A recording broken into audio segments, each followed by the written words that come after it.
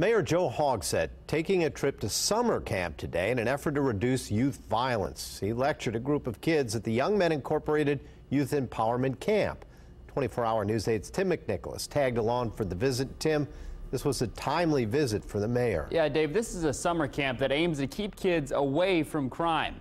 Hogsett says on average, the people involved in gun violence in the city are getting younger. How many of you want to ask the the mayor a question. This is what curiosity looks like. Okay, how about somebody in the back, right back in the back? These kids asked Joe Hogsett how long he's been mayor, what his last job was, what he'll do next.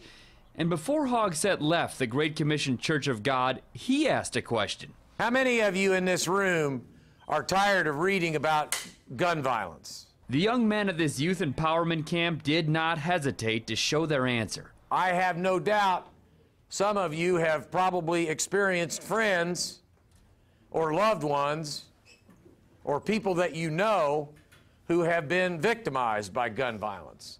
Just last week, IMPD arrested an 18 year old for shooting two people and a 19 year old for shooting and killing a woman. Police say last May at this Westside Taco Bell, a 14 and 15 year old stuck a gun in an IndyCar driver's face to steal a wallet. We have younger people who are obtaining uh, weapons without any legal uh, authority to do so.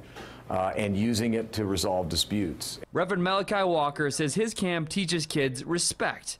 When the kids aren't chatting with city leaders, they're visiting local parks and cleaning up the neighborhood. It's taught me to be a man, to be in leadership, how to be successful, legally successful. That's a very good question. Thank you for asking. After the mayor satisfied their curiosity, he left these kids with a request. You need to help me keep you, your, your brothers, your sisters, your, your family as safe as possible.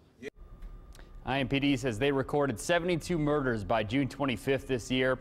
They'd recorded 73 on that same date last year. And 2016 ended as the deadliest year in Indianapolis history with 149 murders. When it comes to non-fatal shootings, 187 by June 25th this year, 238 on that same date last year. Tim, does the mayor have any idea what's behind the difference in the non-fatal shootings? Well, he says they made a few changes. He said that IMPD has added dozens of officers. He hopes to do that again uh, next year and the year after that. And he says officers are also focused now on beat-oriented, community-oriented policing, and he thinks it's making a difference. All right. Tim will continue to follow that story. Thanks.